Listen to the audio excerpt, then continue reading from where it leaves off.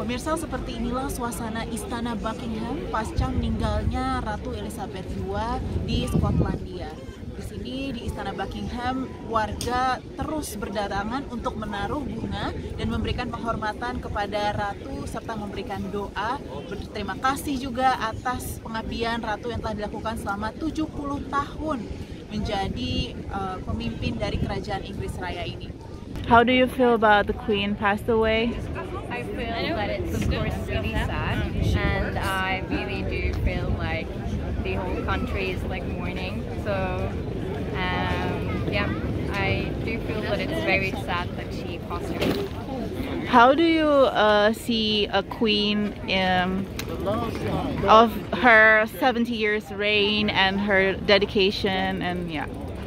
I do feel that exactly like you said she's she was so very dedicated to this country uh, and to her role as a queen. So I do feel that it's a great loss for the country to not have her leading the way anymore. And what's your hope for the next reign, King Charles? Um, of course, I'm hopeful.